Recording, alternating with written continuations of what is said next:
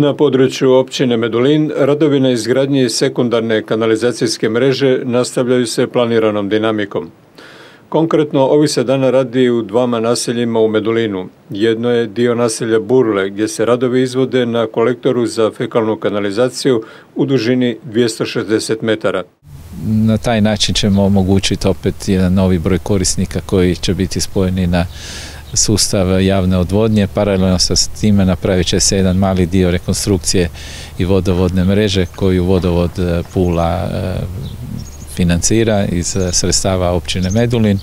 U svakom slučaju evo malo, malo nove izgradnje e, još uvijek potreba postoji jer ovo je stari dio naselja Medulin gdje su objekti izgrađeni pred i 40-50 godina koji su bili na sustavu septičkih jama, evo sada omogućavat će se s time da se spoje na sustav javne odvodnje.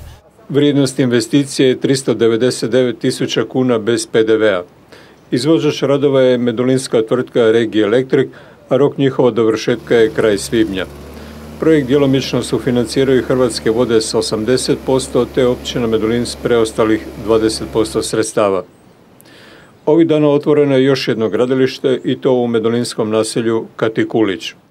Tu smo e, započeli izgradnju fekalne kanalizacije jedno 190 metara i 100 metara oborinske e, odvodnje zato što je ovdje bilo godinama, ja bih rekao ovako, kritično mjesto kad su bile velike kiše, plavilo je taj dio e, naselja, tako da evo nadam se da će sa ovom investicijom i u fekalnu i oborinsku problem biti dugoročno riješeni da se takvi problemi više neće javljati, a tim više mi smo tu omogućili sada desetak e, kuća, desetak objekata koji nisu čak ni mali da se spoje na sustav javne odvodnje.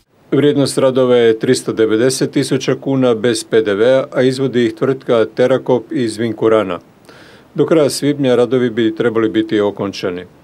Prema najavama direktora Albaneža u skorašnje otvaranje još tri gradilišta vezano za izgradnju sekundarne kanalizacijske mreže, jednog u Vinkuranu i dva u Medulinu.